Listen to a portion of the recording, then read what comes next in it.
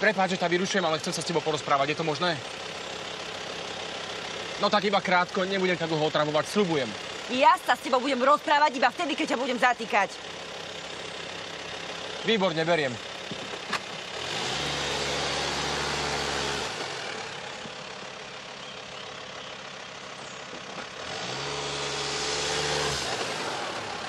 Aha, pozri.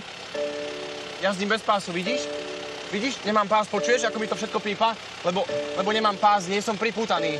Či čo, na Ukrajine pásy nie sú povinné? Ha? Dobre, fajn, takže pásy nezafungovali, tak uh, za toto ma ale zatkneš na 100%.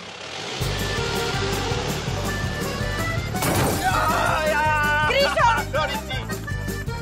Gríšo, si v poriadku? Á, by bolo aj lepšie.